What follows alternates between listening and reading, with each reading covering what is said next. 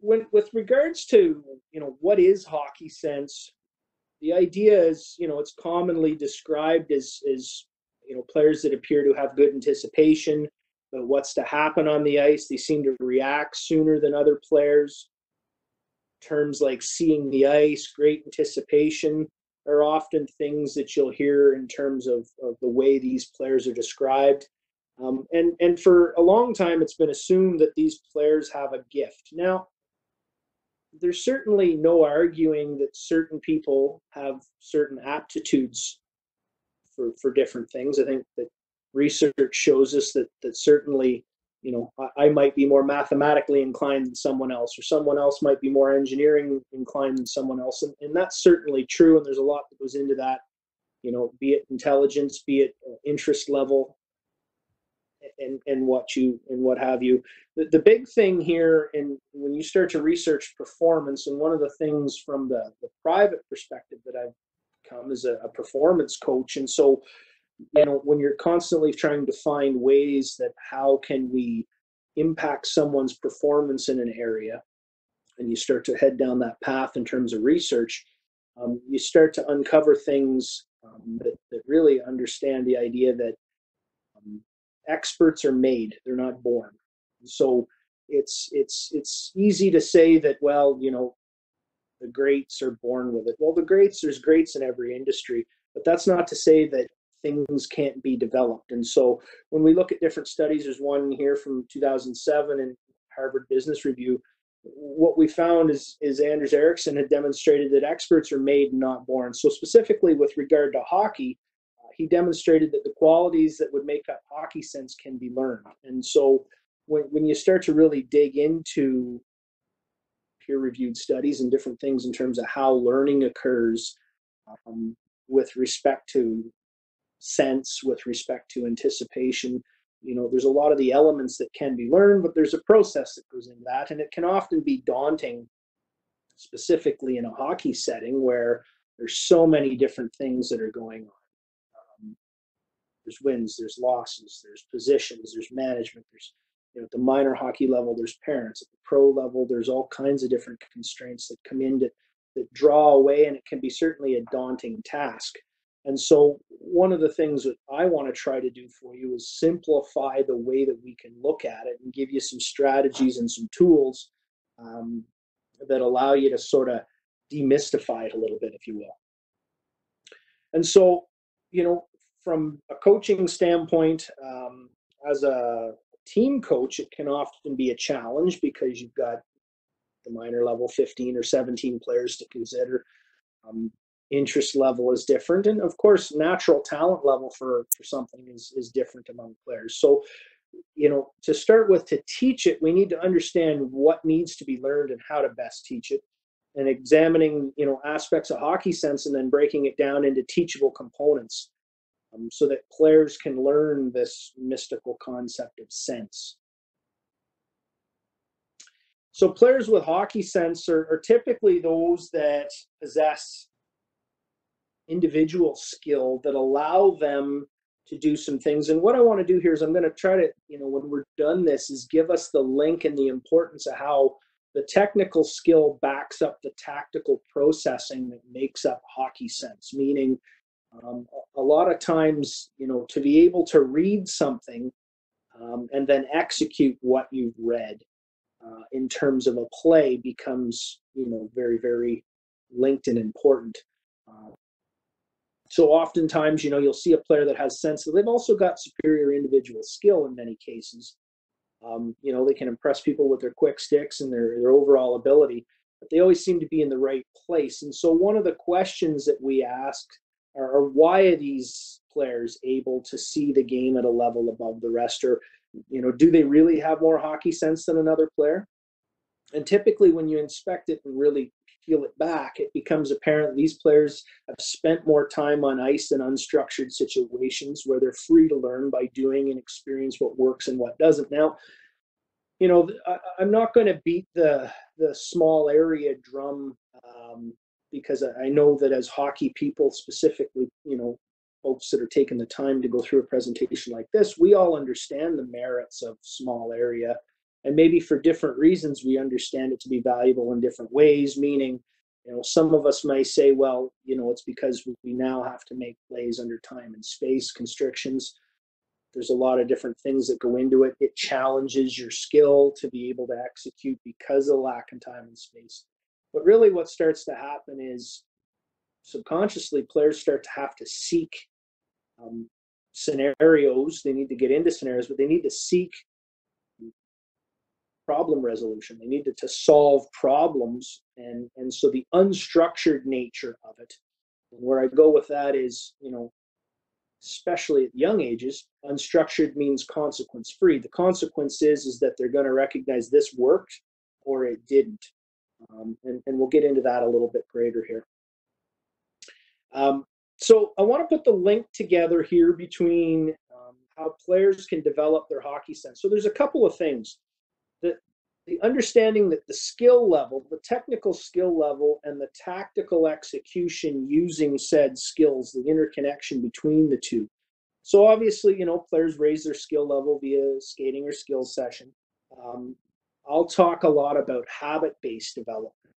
And so a habit might include, you know, stopping on pucks or going to the net and stopping or coming back to open ice to support a puck But really the concept here is this is the technical portion that allows a player to build comfort level in the tactical setting. I like to talk a lot about high percentage versus low percentage. So, um, you know, how often have we had a player, have you had a player who's got great skating ability? You know, they look great in drills. They'll go to a skill session and they're very adept at doing, you know, skill practices per se, but they never really have any understanding of why they're doing what they're doing. And, and you'll often, anybody that's spent any time with me will hear me talk a lot about the idea of does what you do, do you use skill to solve problems or to create problems? And so anybody that, that's that's coaching kids, you know, you'll see little Johnny or little Jill tearing down the ice and they've got great speed and they've got wonderful hands and they can really shoot a puck but they put themselves in situations that not allow the, the, the, frequency of success doesn't work because they're you know not really understanding how they're using those things and so when we link this to you know unstructured situations consequence free some of the areas where players can figure out how do i use the skill that i possess to solve the problem which the problem typically is how do i access the area or the spot on the ice to do the things I want to do. Um, how do I make the play to the open person? How do I score the goal by getting to the spot I know I need to get to in order to feel comfortable to score? And so some of those ways, outdoor hockey, free play, those are all chances to solve problems. And so specifically, you know, in developmental ages, at young ages, and, and I think we can say that anything below the National Hockey League is a development. You know, the American League Ontario Hockey League, AAA, AA, A, B, you name it.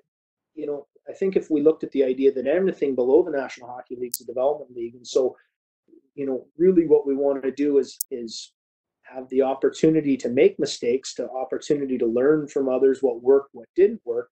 But specifically at young ages, it's about linking understanding with skill. So, you know, oftentimes when you think of a, uh, a player that you would say has great hockey sense, and if you know you all would be able to close your eyes and think of a player that you've coached or your own son or daughter, player that you you you like to watch on TV.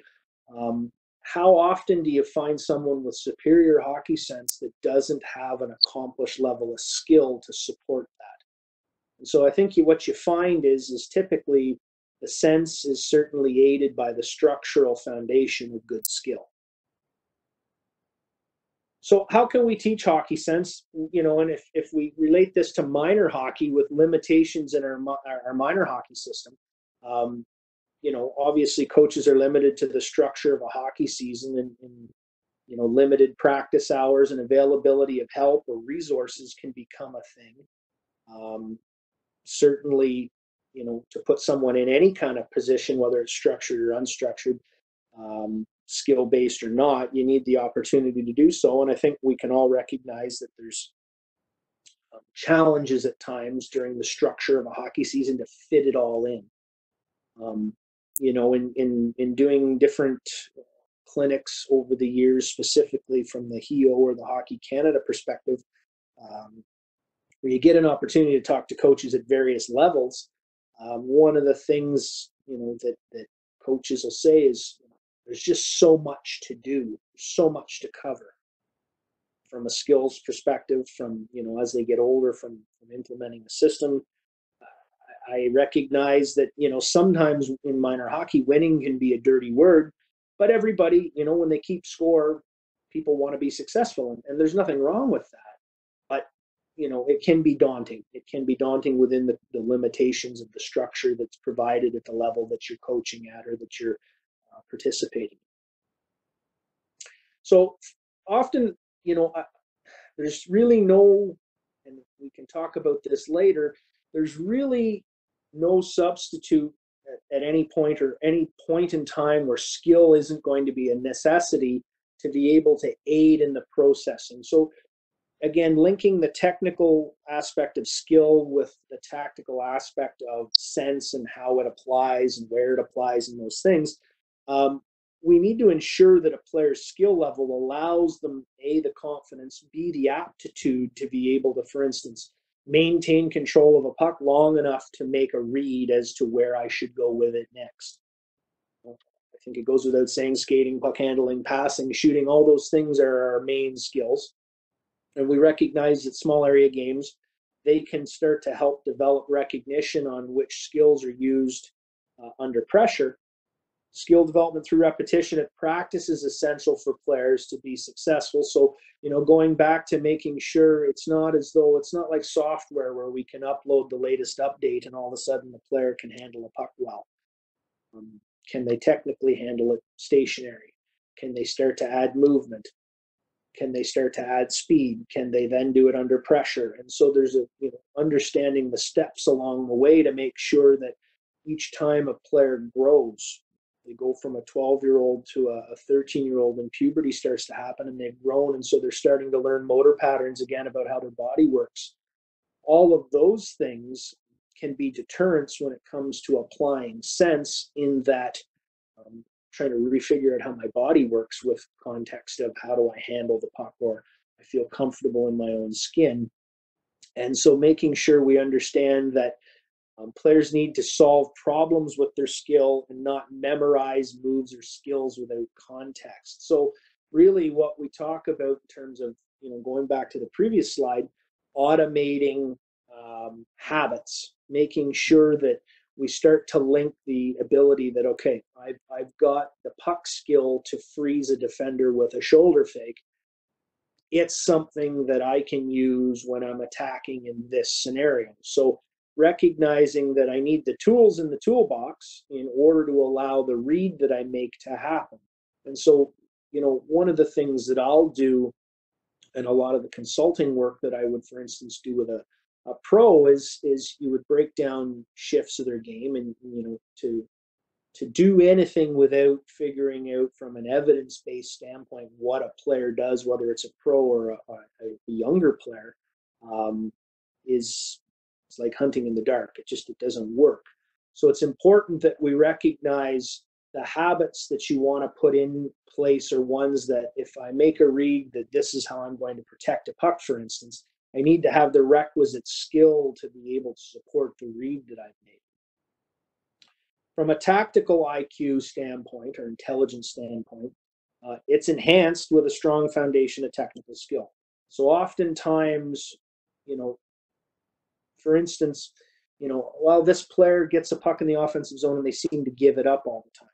Well, the first thing that, you know, potentially we would look at is are they giving it up because they're scared? Are they giving it up because they don't know? Are they giving it up because from a technical skill perspective, they don't understand establishing body position? Or is there something missing in the movement chain of skills that prevent them from executing? So maybe they've got poor edging um, maybe they don't have an activated stance. Maybe they expose pucks in bad areas. So, understanding that IQ and skill can be linked because the skill gives them the confidence to be able to freely make reads. Um, and, and execute what's going through their mind. So ways that this can be achieved from from a player standpoint or a coaching standpoint at the, at the hockey level in terms of team setting, um, engage coaching, being active during practice, but not active in terms of telling people what to do, um, helping them and giving them strategies and asking them to figure things out. To make mistakes are part of learning, but giving them tactical understanding, but allowing them to solve the problems themselves. So one example of that is, um, you know, problems occur in, in every game, but when you start to break the game of hockey down, you recognize that it's the same recurring problems, typically, game over game. Um, I, you know, using one example, there's a loose puck recovery. I get to the puck. Well, how do I buy myself more time in order to find the next play? And so some of the things that, you know, as coaches, we want to help so badly that we overcoach at times.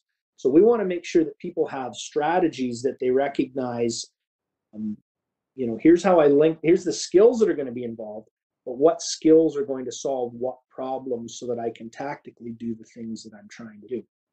As a coach, we need to know those fundamentals. I think, again, that goes without saying. Um, ensure that players understand the primary objective of drills. And so I think as, as coaches, we grow uh, and we recognize that it's really important that we include players uh, in, in the understanding of why we're doing what we're doing. We live in an era and, and athletes have developed to the point where if they're part of the journey, they're going to become much more engaged. And so making sure they understand what this drill is, why we're doing this drill, and what its relationship to the game is, is all ways that it starts to apply a data set for those players to refer back to when they find themselves in the recurring situations of the game. Uh, again, creating pathways between drills and gameplay. So, you know, without going too far off topic, I mean, this could be a um, a presentation all its own it's really important that the things that we do in drilling have a pathway that can be created from the player in his mind, her mind, from the, the game and the practice and the practice in the game. There's got to be that translatability. And if there isn't, we've got to figure out where you know there's there's a missing link in terms of making that connection because typically if we're doing things in training that never occur in the way that we can process the game that becomes a very difficult i won't say sell but a difficult um, translation for a player and, and, quite frankly the easier we can make the game uh, the better for everyone you know anybody can talk in terms um, to make things complicated sounding. I think the real magic lies in how can we simplify for players the link between I see, I have the technical ability to do. And so when I see if I've made the wrong decision, the players are going to know because it isn't going to work. But the more we can link the things we do in games and then propose them with options and have them make choices in practice. If we know that you know, breaking a puck out with pressure is something that we're looking to do. Players have choices, but there's that process that goes in terms of how we collect the information and make the right decisions and use the appropriate skills to solve the problem. So we know that learning requires repetition of correct behaviors in order to achieve unconscious competency. So again, the, the key specifically at younger ages is creating scenarios where we're we're, we're pouring the foundation.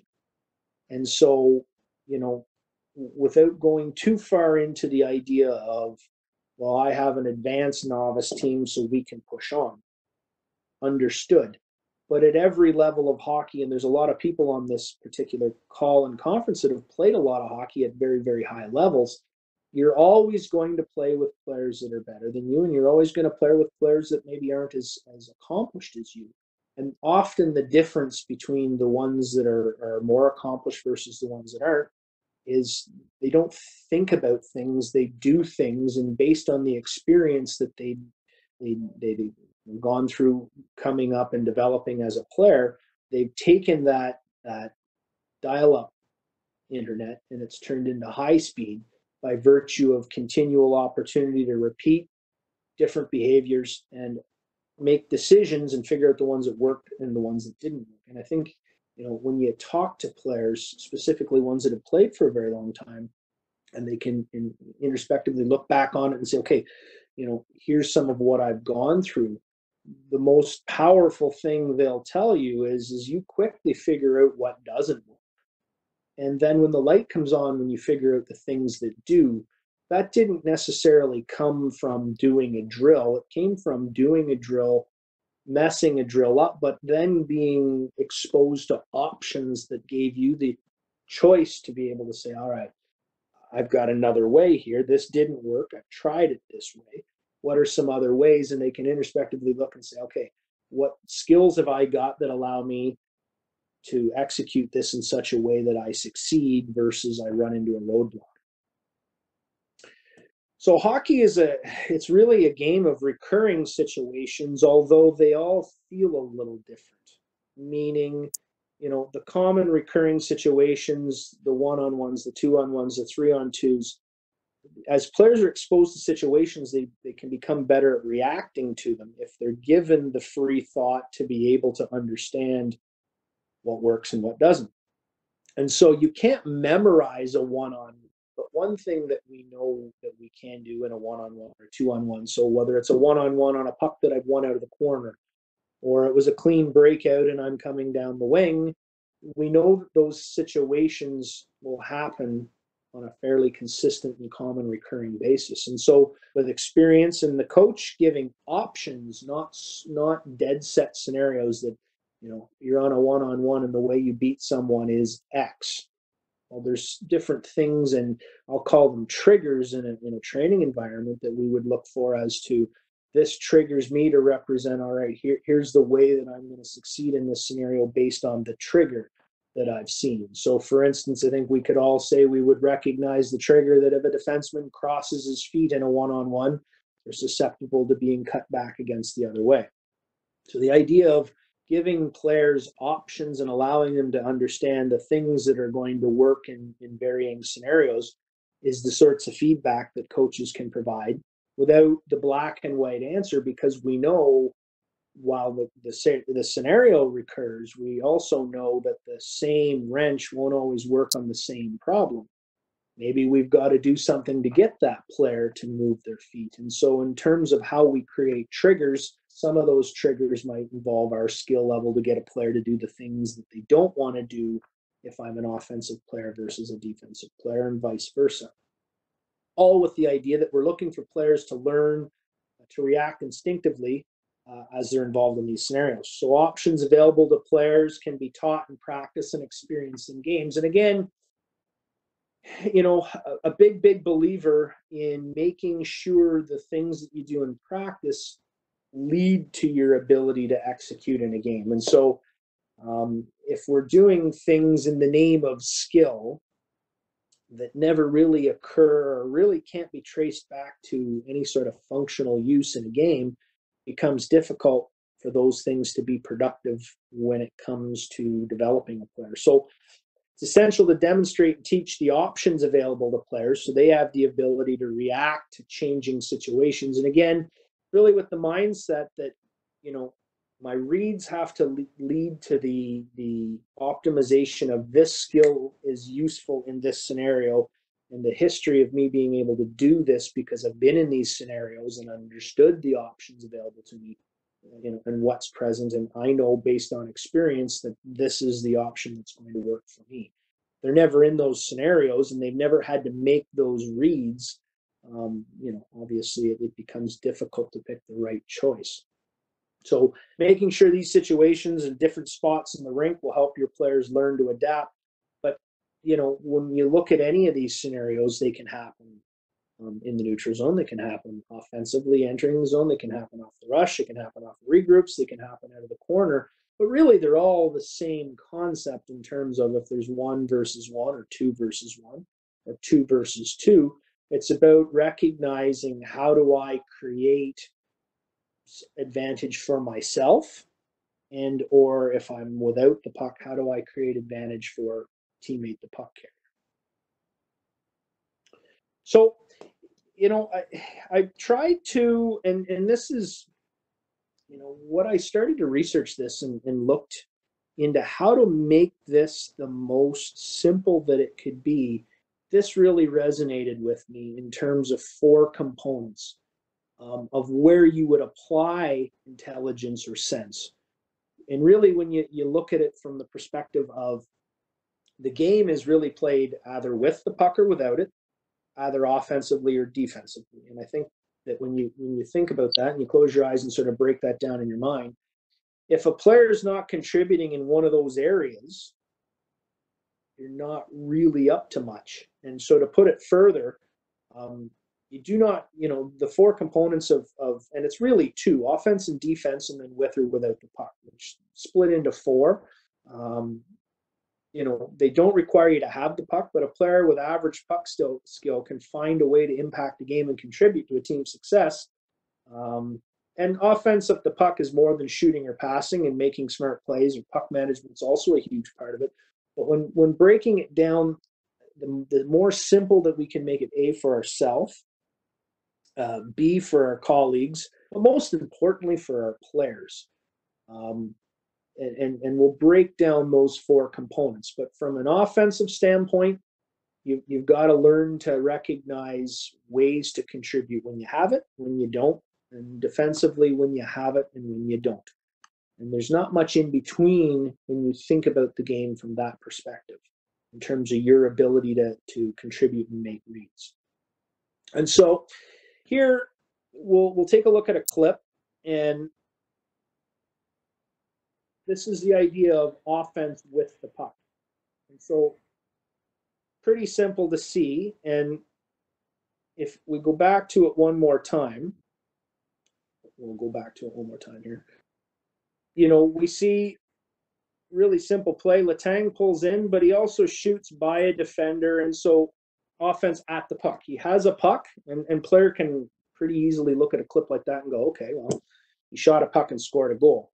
But he jumped into open space where there was a lane available for a puck, so made the read that move into space, don't stand still with my arms in the air looking for a one timer. Jump into a hole, and upon doing so, allow someone to skate in front, creating a screen, shooting past legs. We've got an opportunity to create offense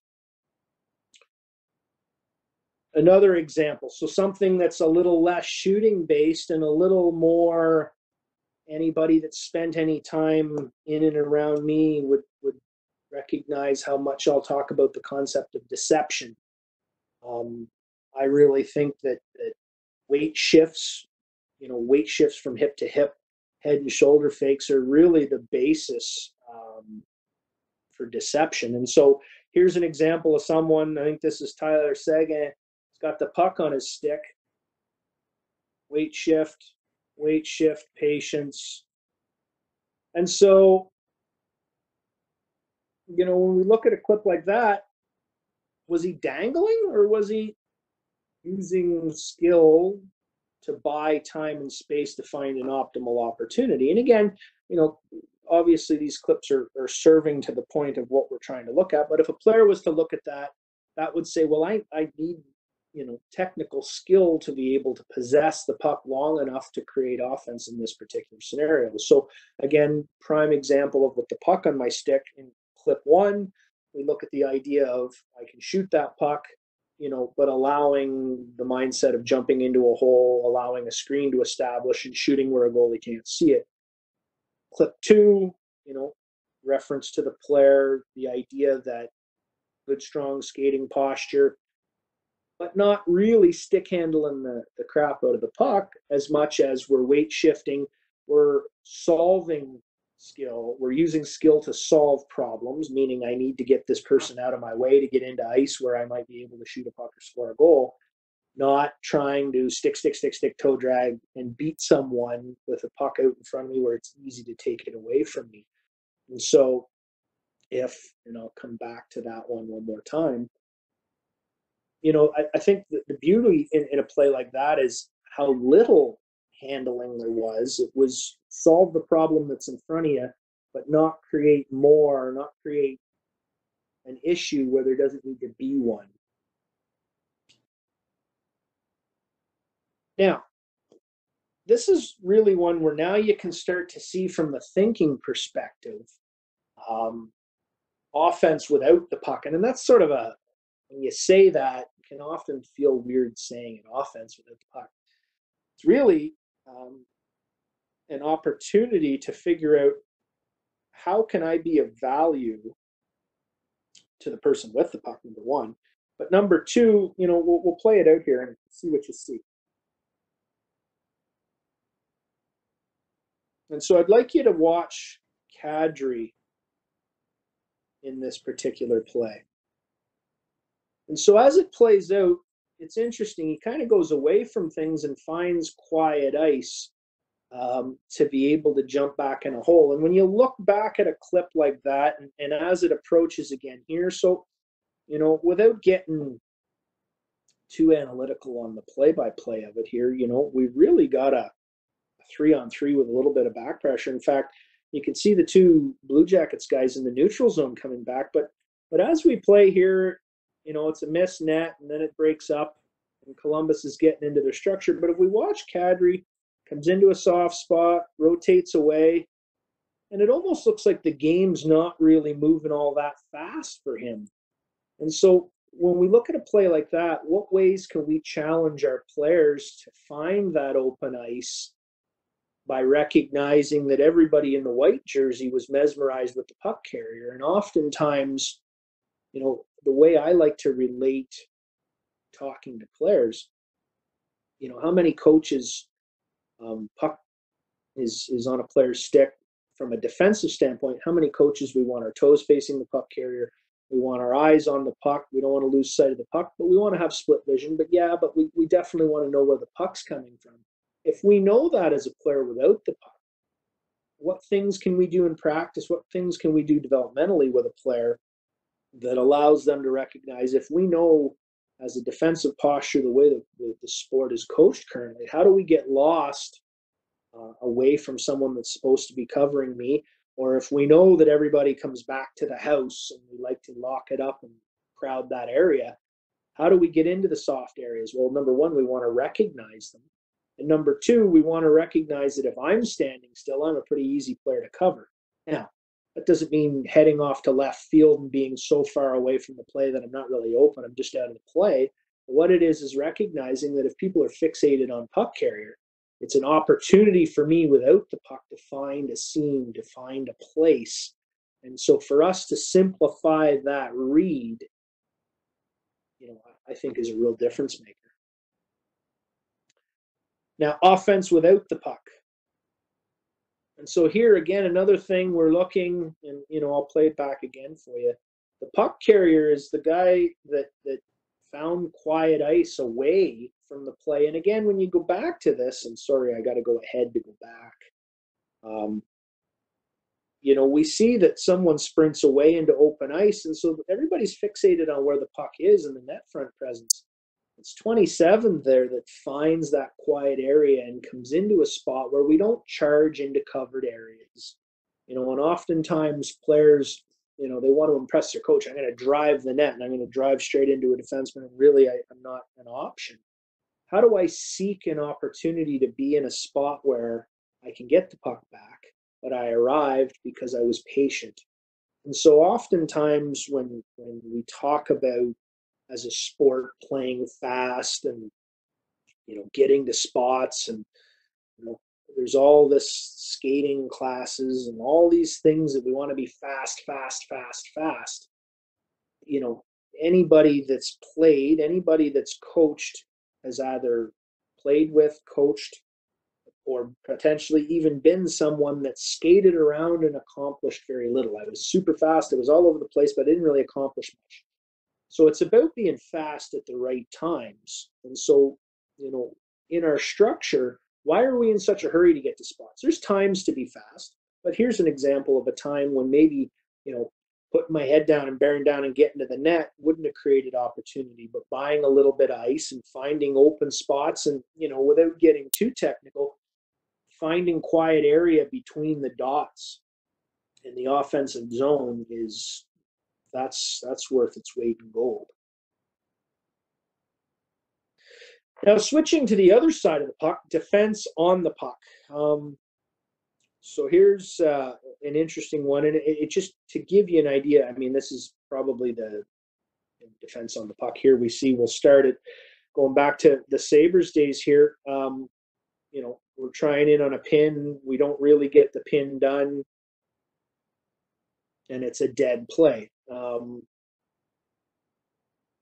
the defense at the puck well, was it good defense? Was it bad defense? I mean, we didn't stop momentum or movement of the puck, and it wound up being a shot on net. Um, but we saw at the start of the clip, we had hip position, body position. You know, we we didn't really have stick on puck, and, and we didn't really set a pin. But in terms of immediate defense on the puck, that would have been an area we could have contributed. Um, here's a bad scenario at defense on the puck. So looking at, at a concept like this, player steps up to be physical, and we give up a three on one and it's it's a goal at the net. And so going back to that in terms of the read, you know, we're aggressive there and, and there was a time when, you know, and that player's probably thinking, you know, I see a guy it's maybe not in control, I'm step up and be physical and there's a hundred different reasons why a player might justify that as a play, but they weren't really reading the picture as a whole. So what that tells me is, you know, maybe it's a hockey sense issue. Um, maybe it's a fatigue issue. Maybe it's just a, a bad read and that I got tunnel vision and I didn't recognize the missing there created this scenario. So, you know, understanding what good and bad looks like is important. Again, defense off the puck. So here, you know, if we look at this screen right away, sets up pretty good. In the screen, it's a two on two plus one. Defensive team's doing all right here. Um, they got numbers, you know, as it starts. Uh-oh. So 50 decides that whether it's lack of focus, whether it's just got caught. And and uh, guess that's a Norris Trophy winner standing in the slot. But we see it's interesting how something like that, when you slow it down and look at it, um, and if I go ahead and then I'll come back to it one more time what started off as a favorable situation, a read created advantage. Now, I had talked earlier about the idea that the technical to the tactical 14 buys a little bit of ice because initially there wasn't a play there. And so there we see the concept that the read about a 14 on Colorado was that, hey, I don't have a play here, so I'm going to extend possession and a play develops and you know recognizing a play developing after the fact and, and you see what you saw and so the, the point of these clips guys is that we're, we're trying to find scenarios in one of those four areas that allows it to be as simple to see what it might look like as possible again defense off of the puck here another similar scenario just uh, you know, and again, it'll play again. Someone comes up, charges into a hole, and and we have it. So I'm going to go back to that one again. You know, we see it here. It's it's not looking so bad until you get caught into a bad decision. And so recognizing how might we break that down for a player would be what's the the risk assessment of charging into that hole. I jump in there and miss you know, things like this, odd man's happen. So keeping the game in front of you is important. And so offensively, um, again, if I go back and then come back to this, you know, that's how quick it can happen. And we see that, you know, at that level, guys, they tend not to miss, right? I think, you know, when, when you look at from a sense perspective, one of the habits, and again, could go a hundred different ways here in terms of coaching and teaching, but um, Patrick Sharp, 10, that goal scored short side. He looks off to 64 and freezes everybody just by that, you know, that, that small portion of time, that second, um, that, that flattens up the feet of the goaltender. And by selling that pass, it, it created it. So from a habit perspective, if he charged in, bury his head, and just try to shoot it, you know, from a percentage standpoint, it's probably got less of an opportunity to succeed. So, um, you know, we're seeing some negative, and you know, implications of defense off the puck when we make decisions and run into holds and do different things that maybe aren't there in terms of the read. So, getting into this, you know, one of the things, and going right back to the structure of how do we, is there that magic pill? Is there that magic course? Fortunately, it's kind of like anything productive in life. There's no easy way. So you you know, for a player to to just be born with elite level hockey sense, I would argue that they probably do some things that people don't realize they do. I would imagine they watch more game film. And so anybody can watch game film. And anybody can watch game film and they can recognize recurring themes. And when we simplify and put the concepts in place that if, if you're contributing in one of those two areas, offensively or defensively, one, and two, um, with and without the puck, that's about as simple as I've been able to find in terms of making it digestible for players. And when you say that to yourself and, and you think about that, that's a pretty simple way to look at the game. But ultimately, I think what we've seen, you know, right from the highest level to to just starting out, those things ring true. And so, you know, if players don't watch a ton of hockey, how can we solve that? Now, you know, not to age myself, but I think a lot of us, obviously on the call, probably spent a lot of time watching hockey as much as, as we might have done playing it. Um, and that's a challenge today. Kids are, are really motivated differently in terms of are they sitting down watching a full game of hockey night in Canada? It's a lot of things that draw on their attention. So what can we do as coaches and player, you know, to, to bring our players along, introducing them to the idea of game film, whether it's their own or NHL games, um, you, you got to put some in to get some out. And so there isn't that magic pill, unfortunately. So when they're watching game film, you know, and, and one of the things you can do, even as a young player, YouTube's a wonderful thing because you can get a player to say, you know, I'm coaching a, let's say you're coaching a novice team or a peewee team or whatever the team is. You can you can find last night's goals. You can find uh, the Ottawa Senators goals online from October or whatever month you're in or what have you. But instead of saying, go watch those goals, have them look for recurring situations, have them look for recurring patterns. Ask them to look for things in terms of how players are reading, reacting to this different situations with and without puck. And so, you know, interestingly, in a in a, a, city like ours where you've got the Senators, you've got the 67s, you've got the Olympiques across the border, you've got 12 junior A teams within an hour of the city, countless junior B. There's a lot of hockey to be able to watch, and plus your own hockey. But instead of you know the big eat the whole plate of food concept, have them look for certain things, and what you'll find is what they they take in from that experience, um, in terms of looking for recurring situations or patterns uh, with and without the puck you'll find that your players become a little bit more engaged rather than saying, we got to watch hockey or I want you to watch the whole Sens game tonight. Because it might not be realistic that they're able to, they're willing to, um, from from the, the standpoint of time, from the standpoint of interest. You know, it might be tough to get a 10 year old to sit down and watch a whole game of hockey. It's different than it was. And, and you know the way we can teach it is also different than it was back when we may have sat and watched a full game of hockey night in canada whether it be as a fan or from a more discerning eye so game feedback is one of the best methods of learning with each player. So as a part of hockey sense is how we provide feedback during games. Um, right and wrong is a really difficult way to, to lead um, and and again it always comes from a genuine place because typically as coaches we want to make a difference for the positive. Um, but during games can we provide observations while the game is in progress? What did you see out there great play. Did you see anything else? Player makes a mistake. They know they made a mistake. What did you see is some great insight into what the player was thinking. And so sometimes the player genuinely thought they had the play they didn't have. But sometimes they just made a mistake. They weren't trying to do what they did at all.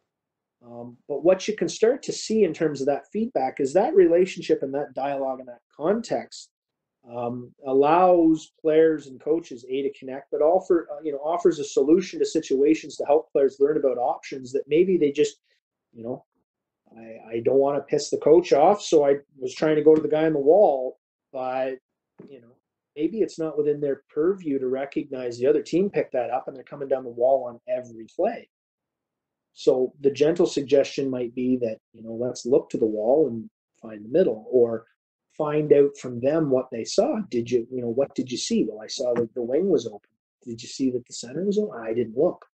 So one of the things that's important is that dialogue, but not creating that was right, that was wrong, as much as finding out what it is they see. And that'll give you some of the keys that you need to figure out is it a read thing?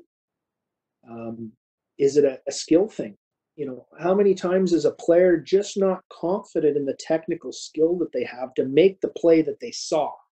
You know, maybe the play was I'm supposed to wheel the net and, and get going, but you know, like I, I just I'm not feeling good in my skating right now, or I, you know, I feel good coming out the side of my forehand, but I, I, really don't feel that great coming out to my backhand. Maybe it's not that they didn't see, it's that they didn't have confidence in the skill a technical skill that was required um, to create what it was that they were looking for. So, you know, obviously allowing players to make mistakes, essential part of the process. Now, you know, obviously in a competitive sport, and again, competitive meaning any sport you keep score in, mistakes, obviously we want to limit them. So, you know, our key is is looking at frequency. If a player is is you know it's a defenseman, for instance, and it might be a retrieval, and and there's a high frequency of a player turning to their forehand and making the wrong play, then let's look at you know the quality of the decision we make, and then follow it with was there a deterrent being the read that I made, or was it confidence based in the skill that I needed in order to make the read that I made work? So it's it's making sure we recognize high frequency plays and then you know how often is there success in the frequency of the plays that we make? And when we tie that all together it's an easy opportunity to, to have the player look at alternative mindsets or alternative options for them during that setting. Having our players understand you know different options available to them in a variety of situations gives them opportunities to experience good starts helping develop hockey sense. Um, you know players are often a lot smarter than we give them credit for but let's never underestimate they just players want to succeed and they typically want to keep a coach happy. So part of you know us helping them succeed ultimately is helping them recognize you know don't be so fixated on something that you're not able to identify an alternative that might be of higher quality than what you might be doing with frequency so a long-term process requires patience on the part of us as coaches. Um, unlike other countries where they're developing top-level players on purpose, you know, to a certain degree, and and you know, we've relied on a little bit of luck, large numbers of players playing, and and you know, this doesn't come from me as an opinion. This this comes, you know, right at the Hockey Canada level. We talk a lot about how come smaller countries um, are are putting out a lot of high quality players. And at times it can feel as though maybe we've fallen behind.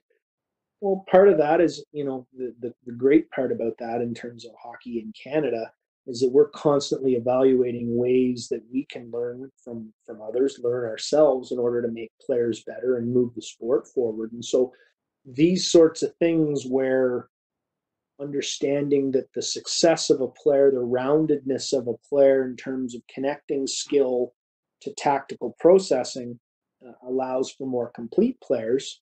And, you know, those things often stem from our ability to elicit feedback and give and take from players. So practicing how you play, um, you know, going back to the research, you know, from Kay Anderson Ericsson, you know his work on on practice forms on the basis of the 10,000 hour rule. I think a lot, you know, a lot of us as coaches have, have read Malcolm Gladwell's book Outliers and the, the concept of 10,000 hours of practice and you'll become expert.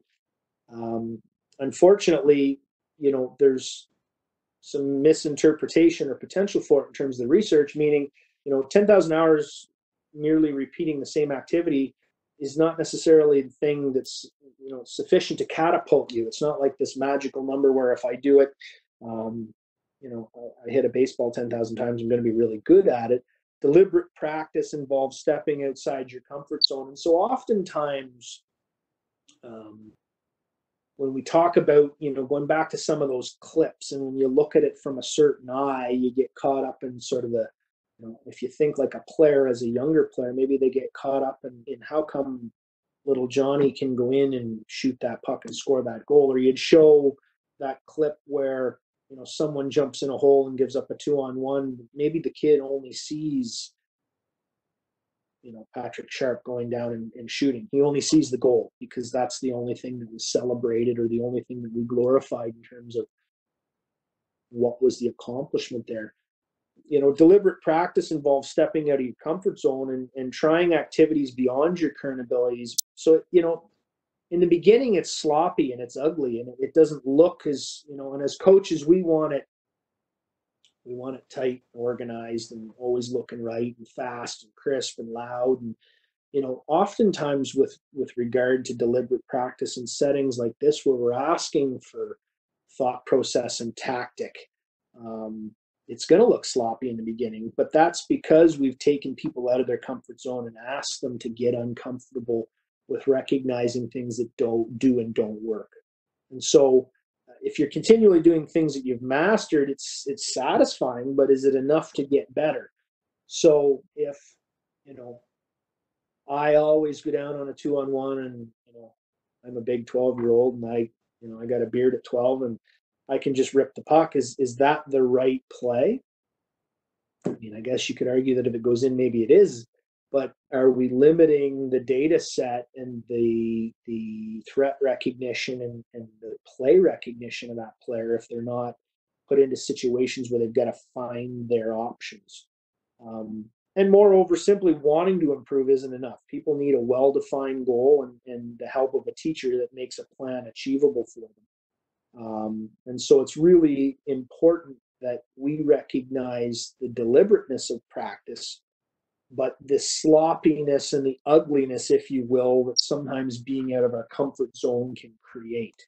And so, with that mindset, you know, just hammering away at something, especially a strength, um, is is not necessarily going to be something that that we want to hang our hat on, if that makes sense. So, in conclusion, um, we want to understand a few things here. We need to understand how skill is important, but skill alone is not enough. Just being fast doesn't cut it. Just being skilled doesn't cut it. You know, you'll find plenty of players that can skate that hit a point where they just can't play anymore. You'll you'll hit a You'll find there's lots of players that have skill. Maybe they, they can't skate and they'll hit a level where they can't compensate.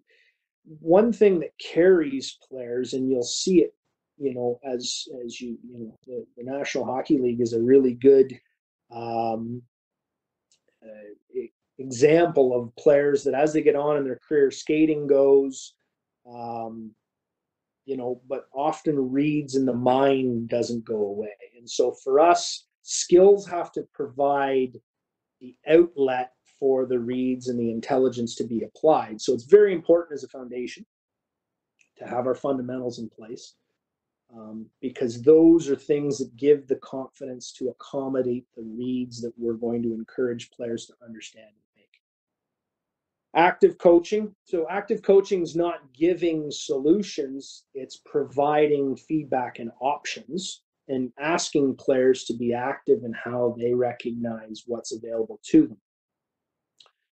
Offer reoccurring situation with options. So again it's not this is what you do on a two on one we want to elicit that back and forth and that feedback. We want to create situations where they understand what high percentage versus low percentages you know, two on two, bury my head, go really fast, get wide, don't cut, don't wait, rip a puck, hope. not necessarily what we're looking for. Making sure that they understand the options. That maybe I've got to buy some time with the skills that we've created to allow a play to develop and the patience that goes with it. You're the player without the puck, you're just as important as the player with the puck. You know, often understanding the answers that I have to ask myself and get the answers to. How am I helping the puck carrier? Am I an outlet? Am I drawing space for him and, and, and creating situations, but creating them and then having players live through the options? Allowing opportunity to make mistakes at every level. Obviously, we want to limit mistakes. We want to create situations where mistakes are mitigated, but that comes from the learning process. Keep practices as as play like as possible. Um, you know, without picking on any of the training that exists out there. Um, there's just so much that goes on that is really painted with a development brush or a skill brush that's a reach, ask yourself, you know, is what I'm doing in terms of practice or training contribute to the way that I can play? If I'm constantly jumping things in practice, am I, you know, when's the last time you needed to jump something in a game? So ask yourself, does it mirror things that allow you to succeed in what it is that you're training for? The game. Help players build skill goals. So again, you know, the more rounded a skill set that we can make, whether it's skating or puck skills or shooting or passing or whatever the, the, the core skill that we're looking for, does it afford them time? Does it create pockets of time for them to allow their sense to pick up, take over? And so, you know, someone said to me, well, you know, I had presented um, I had presented at a, uh, a conference, and someone said, "Well, how do you you take a 25 year old pro and, and what do you do with him to help his hockey sense?" Well, you're right. You know, you're starting late. If you know someone's 25 or 27 or 30 years old, they played the game a certain way since the time they were four or five years old. What do you do? That's a great question. You know, the process remains the same, but maybe what you've got to start to at that point rely on is all right, if I'm a really fast skater, can I use that skating or weaponize that skating or weaponize that puck skill to create pockets of time for myself? Because some players, you know, whatever point of their development have recognized within themselves, it takes me, I need this much time to make the read that generally becomes somewhat successful can I use the skills I possess to create more time so that I can process at the game speed that I currently run at? And so that's an option where building skills goals is important. Extending possessions, um, you know, how I carry pucks with regard to solving a problem versus creating it, meaning you know, am I in a spot where I can pass the puck, shoot the puck, or handle the puck at any time? Or am I in a spot where I've got to bring it back to my hip and load it before I pass it? So things like that become, you know, they boil back to the habit standpoint that I talked about in earlier slides. It's important for us to recognize, you know, how skill contributes to the confidence that we need in order to make appropriate reads. And then from a game feedback uh, standpoint, you know, I think anybody can be guilty of shoot that, you know, skate harder, back check, go to the net, shoot it. That's not game feedback. Game feedback for me is is really making sure players understood their options by articulating what they may or may not have saw. And maybe we disagree with what they saw. But if they don't understand why that wasn't the proper read, us yelling shoot or skate or back check or whatever um, is nothing more than words and noise that create confusion for a player. Um, and so, game feedback in terms of specifics and that give and take of recognizing it's as important that we know how they're thinking for us to influence some of the decisions they may make. So when we talk about players with IQ, you know, sort of getting towards the end here, what makes Sidney Crosby, Nick Backstrom, Wayne Gretzky. I mean, was there a, a player that exhibited better IQ? Pavel Datsyuk are all considered to have high hockey IQ. When you look at all, you know, for instance, four of those players, they're all different in some way, shape, or form. Um, but one thing that they do is they're patient. They vary their speeds. They don't charge into places. They allow things to develop. But most importantly, all of it comes off all of those players off of creating time and space and letting things develop. So, you know, when we talk about those guys being in the right places in all three zones, possession or not, um, at a young age, what they did was they learned to seek open space. They they learned that if I'm not being chased, you know, let things develop. And so when we talk about players that would show what IQ might appear as, what intelligence with and without the puck, offensively, those are some guys that would be great clips to show uh, for players to be able to relate to and to see. And for us, for teaching points, it gives us a good reference point players to refer to. And those are just a few. Um, you know, there's many, many more. There's been thousands of players um, throughout time that, that are great examples of, of what we're talking about today. So from a bibliography resource, there's a lot of different things. Um, online. There's a lot of different resources, a lot of great follows. There's a lot more guys talking on Hockey Sense um, now um, than ever before. And the cool part about that is, um, from that perspective, don't be afraid to to look at the different things that are out there. Um, and this is is an interesting topic because it's hard to quantify, right? It's it's you can't just go and find drills. Um, you got to work a little harder when it comes to how do I implement this or make this um, bite-sized pieces that a player can figure out what scenarios and reads look like and feel like. Um, and you know one of the things is is there's really no wrong when it comes to trying to find different material um, from a gameplay perspective um, that allows players to see what certain aspects look like and challenge them and have them talk to you um, you know so I, I think what we'll do now that that's the end of the, the formal presentation let's open it up to, to q&a um, and, and uh, certainly anything I can do to, to provide some different insight, I'd, I'd be happy to do.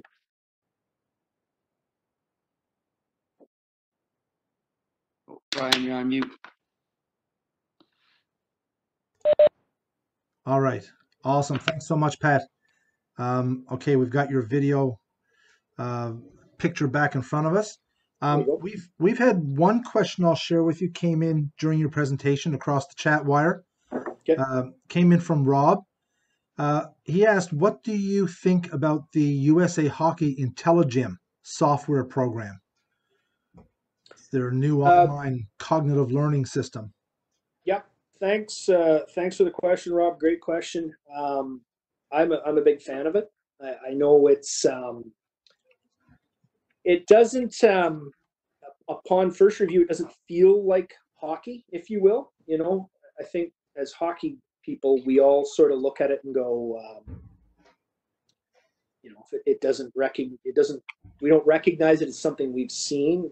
Um, is it useful? What I like about it is, you know, the give and go portions of it, the recognizing move to open space portions. I'm a big fan. The research really backs the um, the research really backs a lot of, of the scenarios and the, the learning outcomes that they're looking for when, with regard to that. Um, so absolutely, I, I am a big supporter of it. I really like the program. I've used it, um, and I would encourage um, us. In fact, I've, I've recently done some stuff with it. I think as Hockey Canada people, we get a 15% discount on it. Um, not that I have any vested interest in it, but I just, as a person that's used it and paid money for it myself, um, and, and with kids that I've been involved with, um, now big supporter, and I think it, it's it would be certainly worth uh, the time and the money.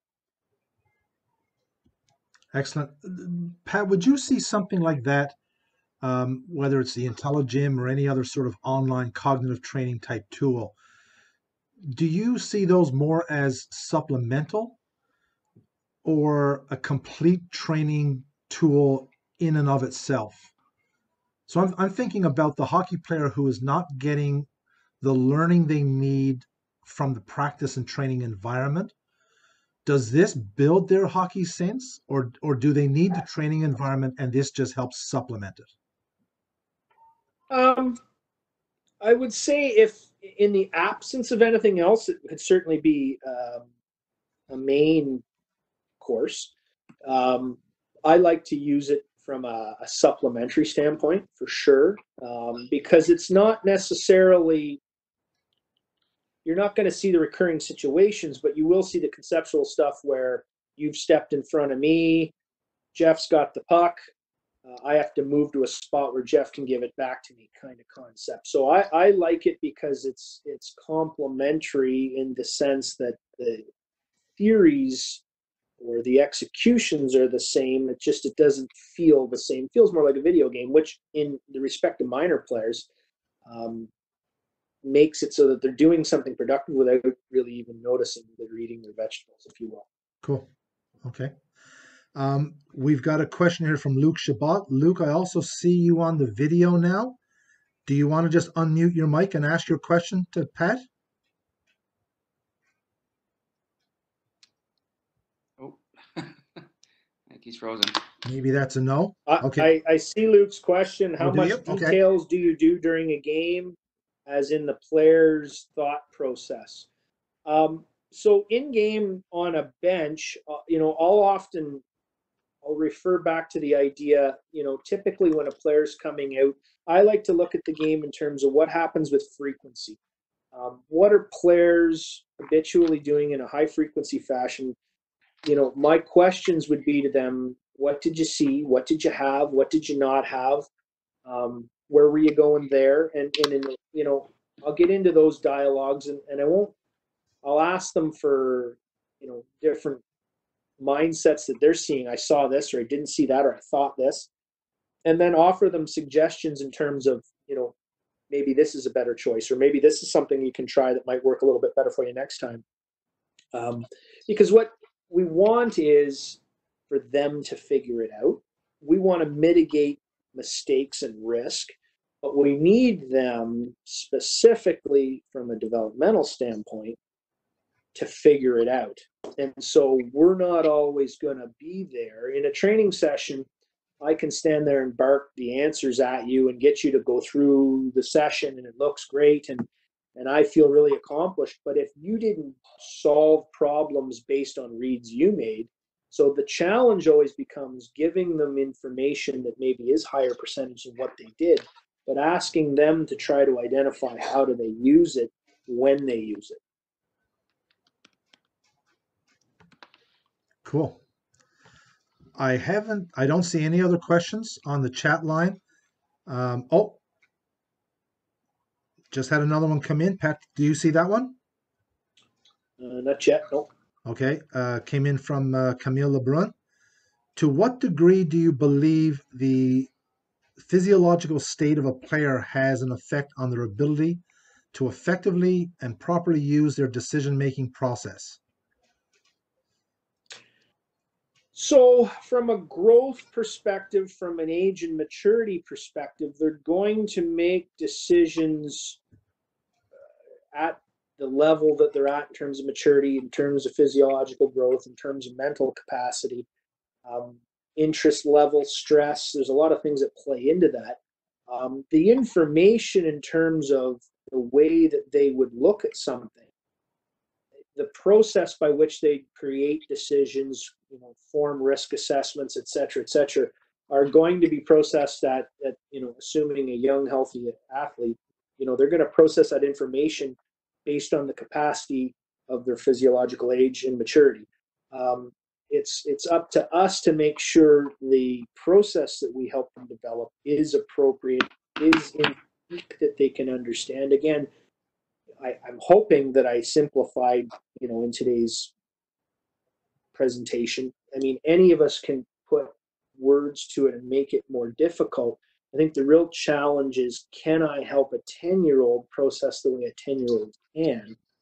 Um, and that starts with the way we help them process information without making it in you know water that's too deep for them to swim in, for instance, if, if that makes sense. Hopefully that answers your question. Yeah. One of the examples that she presented in her question um, from a physiological perspective gets into things like uh, complex motor skill starts to fall off typically after you know a heart rate of 145 auditory exclusions will start to kick out at about 175 so as players get you know in simple terms as a player gets more and more exhausted mm-hmm. they start to hit these thresholds of things falling by the wayside. That you know we would all assume that that would start to impact their decision making as well at some point. We often hear you know the more tired the brain gets you know um, so from that perspective for me you know um, you know as lactate for instance builds in, in, an athlete not only does it seize up their muscles their decision making i think we, we know that research shows us their decision making is affected as we fatigue physiologically especially anaerobically um, it, it starts to impact the way that we think. And so going back to decision making process you know creating triggers you know, for our players to, to recognize this is how I'm going to extend my possession to buy time in order to process at the time that I need in order to make a quality decision. You know, for us, you know, determining what the quality is and helping players understand what the quality is is a key, but really creating that pathway of what are the triggers that allow me um, to make a decision and, and what those triggers look like. I'm being pressured. I'm not being pressured you know i start to lose my skill level and my decision making ability as i get tired. But with that said what triggers you know have i started to institute in the way that i think the game um, that a coach has helped me develop that allow me to make the best decision i can with the information given to me from the play? Yeah.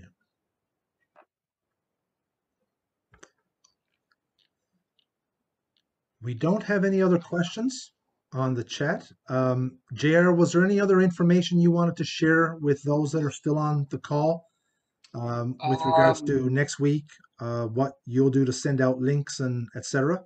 Yeah, um, like it was been posted, everyone who's Dev One or HP One certified will receive three points for each one of these that they attend live. So I'll get that up either tonight or tomorrow. So you'll receive uh, three points for that. Um, our link for next week it's Jason Clark, I believe, uh, will be presenting next week. Uh, the link should be out sometime tomorrow morning.